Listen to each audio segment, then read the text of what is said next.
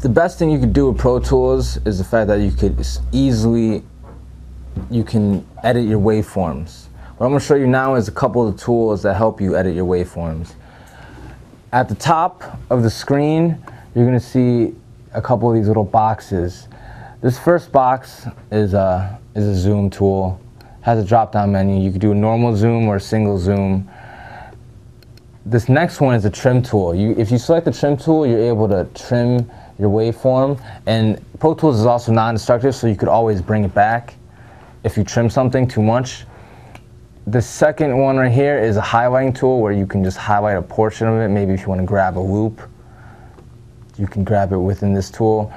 The third one is a grabber, which makes lets you uh, move your waveform to wherever you want to move it to. This fourth, this fifth one is a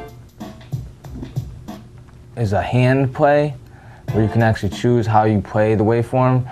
And the fourth one is a drawing tool for like automation, like we talked about before, if you want to change the volume or the panning or anything like that.